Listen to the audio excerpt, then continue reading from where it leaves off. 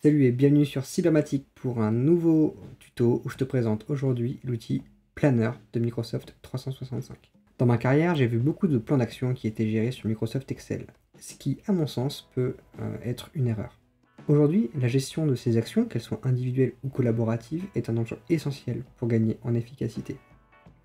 Et pour cela, si tu as une offre Microsoft 365, tu bénéficies de certains logiciels qui, qui imbriqués entre eux, sont d'une redoutable efficacité pour pouvoir travailler sur ses actions et bien définir ses priorités.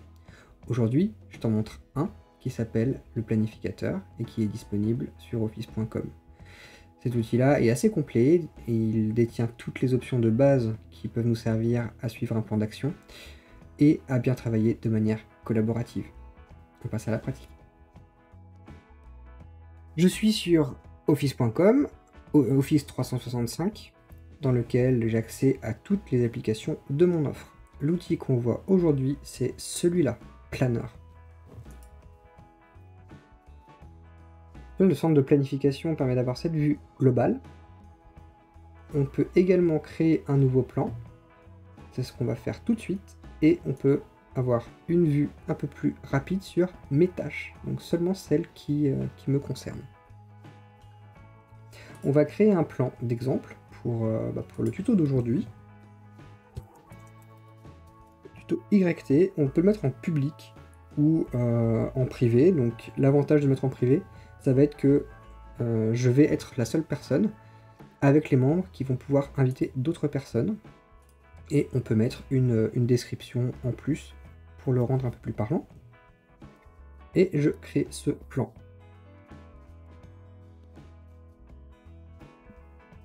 On arrive donc sur, cette interface euh, du planificateur. Donc sur le bandeau, au début j'en avais qu'un, maintenant j'en ai deux. Donc ce tuto de création YouTube, c'est celui qui permet de synchroniser mes vidéos. Et donc ce deuxième est, vierge de toute action. Donc dans l'interface de ce logiciel, euh, on peut le rentrer dans les favoris de manière à ce que tout de suite il soit accessible en haut, même quand on a des dizaines de planificateurs. Ça permet de les avoir en haut de cette, euh, de cette vue. On a une vue en tableau pour voir l'ensemble des actions qui sont entrées dans le logiciel. On peut avoir une vue en graphique. Donc là pour l'instant elle est vide.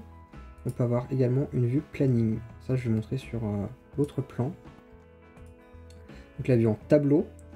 La vue en graphique. Celle-ci me permet en fait de voir euh, bah, que la répartition des tâches qui sont terminées, celles qui sont en cours, potentiellement celles qui sont en retard, donc là, je vois que j'ai deux actions à faire. Le reste a été terminé. Et également leur classification. Donc là, on peut, et ça on le verra dans l'état des actions, les classer entre minimum et urgent. On, voit, on a également une vue par membre. Donc euh, quand on est une dizaine à travailler sur ce même plan, on peut voir la dizaine de personnes qui est dedans et avoir une vue de l'avancement par personne. On peut également avoir une vue de planning, qui, nous permet de déplacer les tâches et de voir euh, bah, si on a des goulots euh, à des moments donnés. Par exemple, si je vois en octobre, euh, voilà, j'avais tous mes épisodes à tourner et à, réaliser, et avec une vue macro en mode calendrier. Au niveau des trois petits points, on va avoir une multitude d'options. la première, c'est bah, de, de voir quelle est la conversation qu'on a avec Outlook, parce qu'en fait, les plans synchronisés avec Outlook. Euh, je vous montre ça si j'ouvre le logiciel de bureau. voilà, là il y a un groupe création YouTube qui est ici. Et même dans l'application de bureau, je peux retrouver ces actions-là. Donc là, là, je suis sur ma boîte cybermatique. Si j'ouvre mon groupe, vous voyez que mon tuto YouTube s'ajoute là. Et en fait, on a une conversation par email. On peut entre collègues se répondre directement par mail. Ce qui fait que si vous, vous utilisez le planificateur, mais que euh, bah, tes collègues ne veulent pas forcément rentrer dans l'outil, ils peuvent quand même écrire directement dans leur euh, Outlook comme d'habitude euh, et du coup ça fait de la correspondance qui rentre dans le logiciel. Donc ça c'est quand même très pratique. Je ferme ça, j'entends sur le planificateur. Dans les trois petits points, je peux aussi gérer qui est membre de, euh, de ce plan et en rajouter. Donc là, j'en ai qu'un, mais potentiellement là, je vais pouvoir rajouter n'importe quelle personne qui, euh, qui travaillerait avec moi sur le sujet. Je vais pouvoir voir quels sont les fichiers euh, associés. Euh, en fait, on crée un SharePoint à chaque fois qu'on crée un groupe. Donc on peut y rajouter des fichiers, on peut y mettre un bloc-notes, on peut aller, voir le SharePoint. Également l'ajouter aux favoris, donc ce qui a pour effet de le remettre en haut, comme je l'avais montré tout à l'heure avec cette étoile. On peut copier le plan pour le dupliquer, on peut l'exporter sur Excel, ça c'est très pratique pour faire des statistiques. On peut copier euh, le lien vers le plan, donc ça c'est pour le partager. On a également euh, vu sur les paramètres du plan, dans lequel on va pouvoir euh, bah, lui donner une petite touche de design qui peut être un peu, plus sympa visuellement qu'un grand écran blanc. Voilà, il y a pas mal de pas mal d'options hein, qui, sont rajoutées au fur et à mesure par Microsoft. Par exemple, on va rester sur celui-ci. Les options du groupe, donc privé ou public, c'est modifiable après coup. On peut également modifier le nom de ce plan et gérer les notifications. Donc une personne qui m'attribue une tâche, je vais pouvoir le recevoir par courrier et par notification push. Euh, et une tâche qui m'attribue est en retard, arrive à échéance aujourd'hui, arrivera en échéance au cours de ces prochains jours. Donc ça c'est pareil, c'est une notification. Donc les paramètres du plan sont gérés de cette manière-là. Et on peut euh, afficher également le calendrier des actions sur Outlook. Donc voilà pour les petites options euh, pratiques qu'il y a derrière. Je vais tourner sur euh, le plan du tuto YouTube pour pas casser ce plan qui m'appartient. Donc là, en fait, on est compartimenté. Ça veut dire que là, on a une liste des tâches à faire, mais on peut rajouter autant de compartiments qu'on le désire. Là, par exemple, test avec commentaire, commentaire, prioritaire, à planifier. Donc ça, ça permet de rajouter des catégories d'actions. Donc ça peut être des services, ça peut être des, peut thématiques. Euh, là, j'ai mis vraiment des choses au hasard, mais si on veut mettre maintenance, production, supply chain, commercial, bureau d'études, on peut également. Pour rajouter une tâche, ça va être très simple. On va marquer le nom de celle-ci. Première action du tuto je vais définir une date d'échéance. Donc euh, là, ça va être pour, euh, par exemple pour lundi prochain. Et je vais l'affecter à une personne. Moi, je suis tout seul dans mon organisation. Par contre, si tu es euh, sur 365, tu tapes le nom ou le prénom de la personne à qui tu veux affecter la tâche. Et elle s'affichera directement dans le menu contextuel. Et tu fais ajouter une tâche. Et là, tu viens de créer ton action.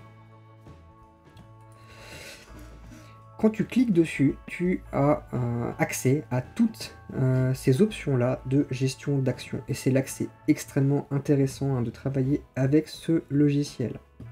Le premier, c'est que tu vas pouvoir modifier le compartiment dans lequel elle est. Tu vois, donc là, on modifie un compartiment, ça l'a bougé de place. Également ici. Et tu peux le faire à la main, directement en glisser-déposer, si tu le souhaites. Donc là, je l'ai mis en non prioritaire. Tu peux afficher la progression de ton action si elle est non démarrée, en cours ou terminée. Donc là, on va mettre qu'elle est en cours.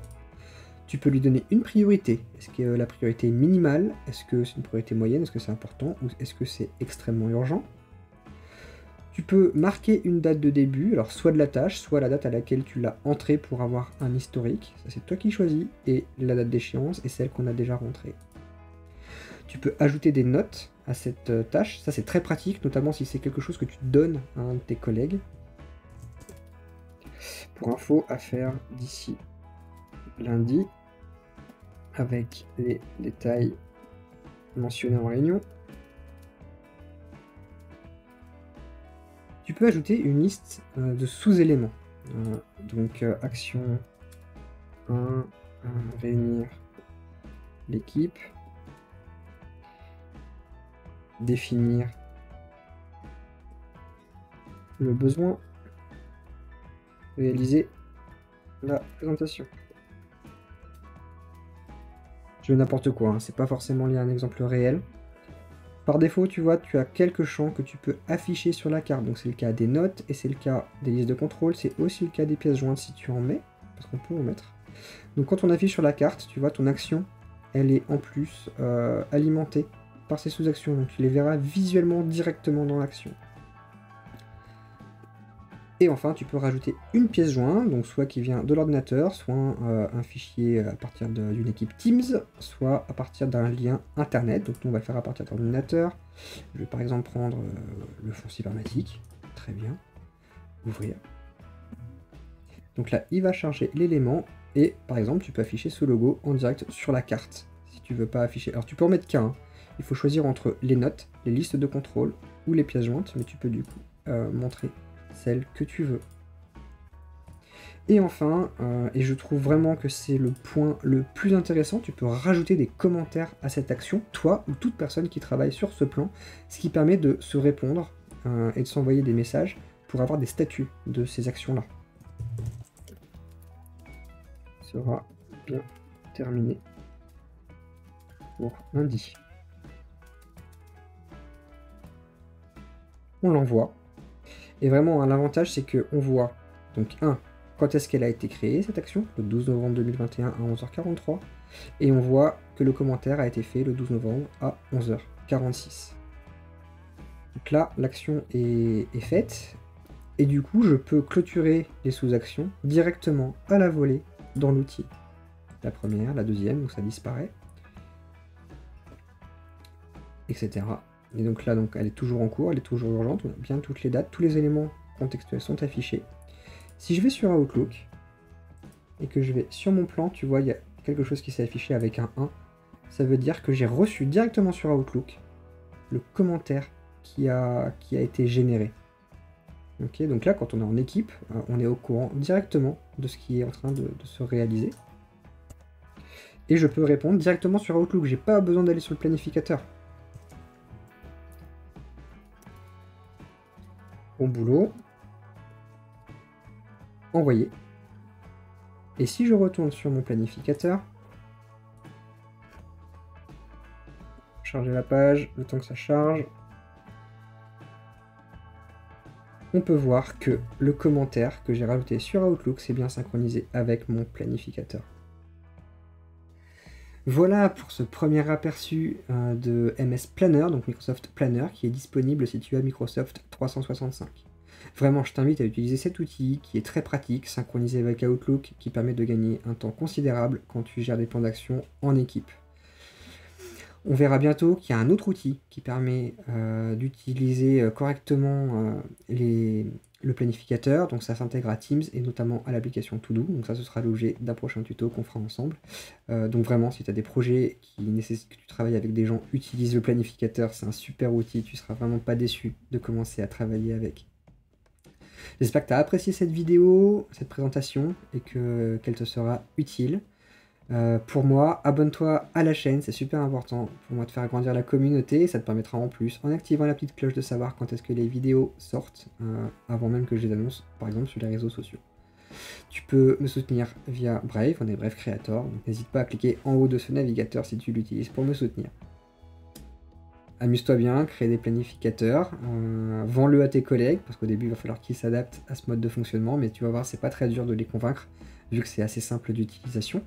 Et nous, bah, on se dit à bientôt pour un nouveau tuto. Ciao